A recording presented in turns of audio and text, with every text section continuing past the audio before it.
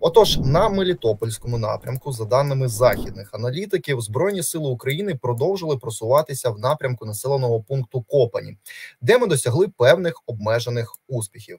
Цю інформацію підтверджує і військовий оглядач Константин Машовець, який заявив, що ЗСУ поступово просувається в районі Копані та на схід від Нестерянки, після того як підрозділи російського ВДВ контратакували в цих районах. Окрім цього, шириться інформація, що російські підрозділи відійшли з північних околиць Новопрокопівки саме в центр села, і що територія на півночі населеного пункту в даний час є сірою зоною. Я нагадаю, що нещодавно повідомлялося про те, що наші військові змогли тут досягти нових успіхів і змогли, змогли зайняти тут вже околиці села. Я нагадаю, що після того як наші військові звільнять цю територію, звільнять Новопрокопівку, то ймовірно, після цього наші військові попрямують далі в сторону Токмака через трасу трасу, яка веде до цього міста, попередньо змінивши Ільченкове та Солодку Балку. Таким чином, е, наші військові використали нещодавні російські контратаки для просування саме в районі Новопрокопівки. За словами Машовця, збройні сили України також просунулися і в напрямку Вербового після якраз знову ж таки російських контратак. Тобто, ми ймовірно задіяли тактику гнучкої оборони, коли російські війська наступали одразу ж після відбиття атак. Ми рухались уперед і займали вже російські позиції. Однак ця тактика більш ресурсна та енергозатратна.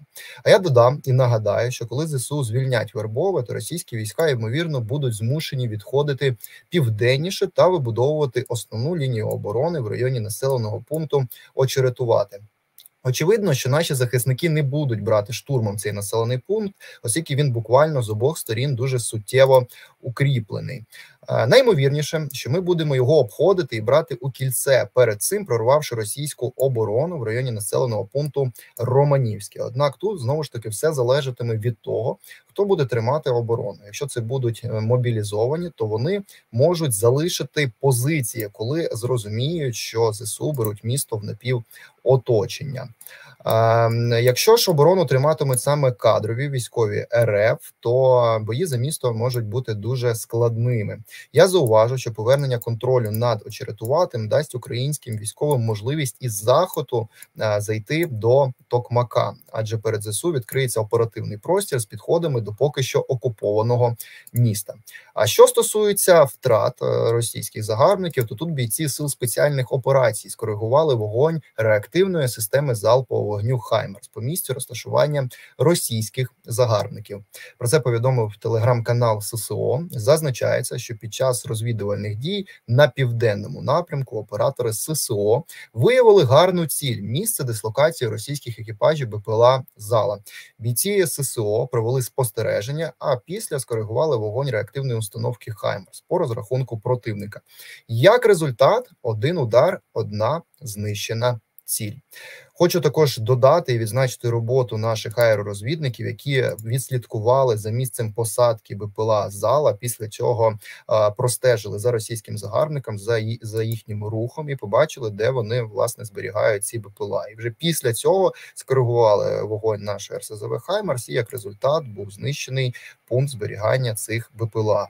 Ну і також е, на цій ділянці фронту, замість того, щоб кинути зброю та підняти руки, російський солдат вирішив спробувати втекти.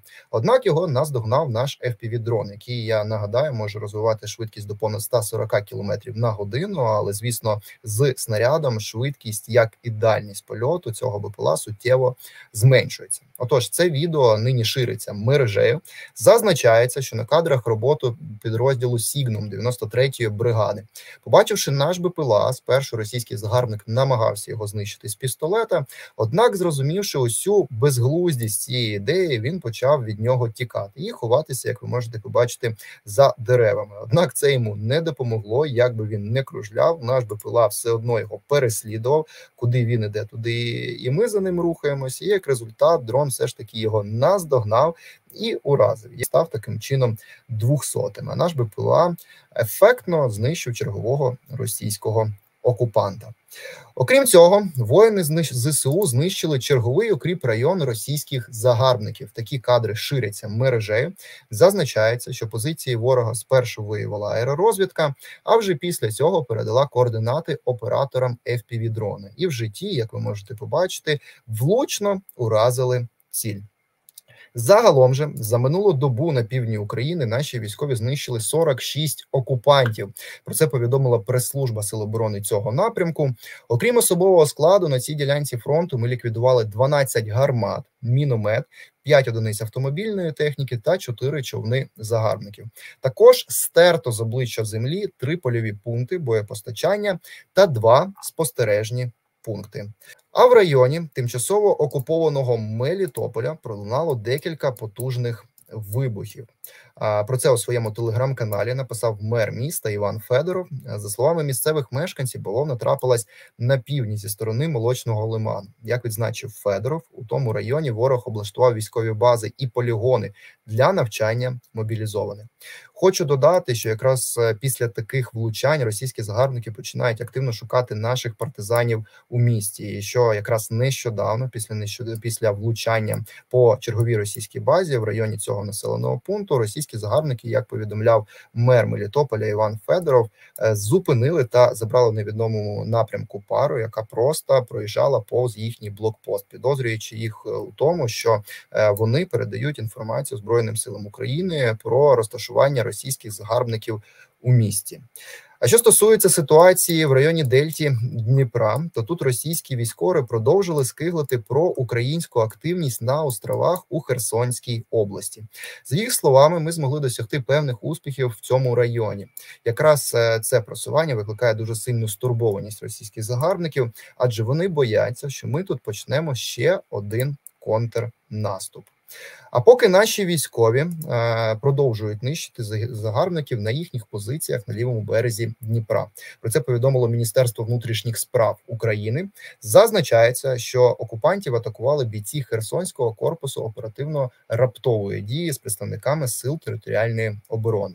На відео можна побачити, як українські бійці за допомогою fpv дрона вдарили по позиціях окупантів. Як результат, декілька російських загарбників відправились на концерт до Кобзона, а інші відповідно очікують на квиток, оскільки отримали дуже суттєві поранення.